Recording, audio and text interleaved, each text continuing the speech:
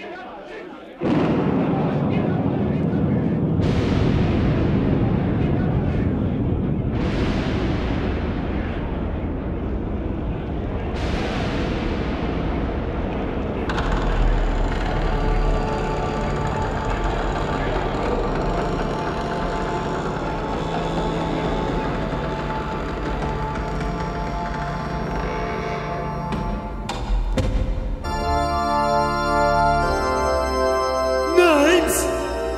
That's what they call me.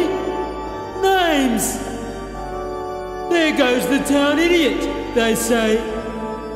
Here comes old Hunchy, they say. Yes, they all despised me.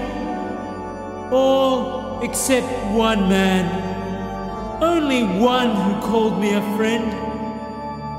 Francis. Only Francis treated me as a friend and a brother. They, they said he was mad. But I, I, I had a hunch he was more sane than the whole bunch. They laughed at him, all because he believed God spoke to him. But God did speak to him. I was hiding in the old church of San Damiano that day, trying to get away from that mob, when Francis came in and knelt before that great crucifix. That look on his face, the words I heard him say. Something happened there. God did speak to him.